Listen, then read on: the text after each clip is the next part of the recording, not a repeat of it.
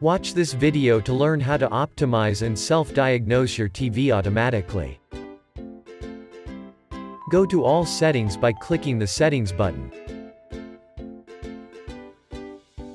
Click on the Support option under All Settings.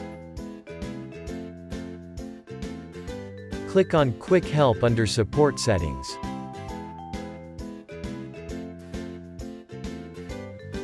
You will find two options under Quick Help settings. Optimization setting and Check Items setting.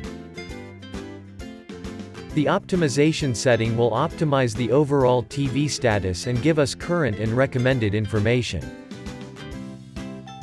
Through the check items, we can automatically diagnose our TV and also check the current status of the TV hardware.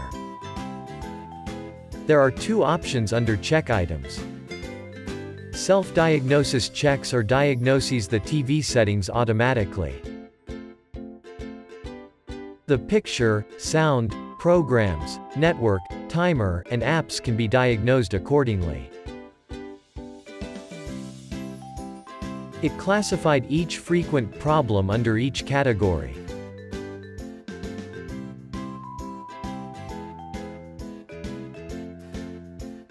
It will guide you and help you self-diagnose based on the problems you face.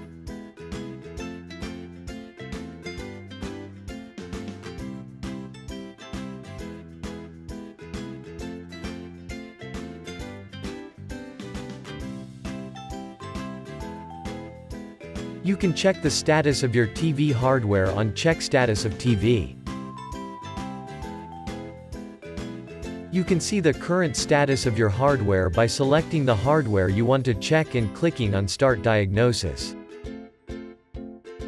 The OLED panel, Magic Remote, Bluetooth or Wi-Fi, HDMI port, and illumination sensor will be included.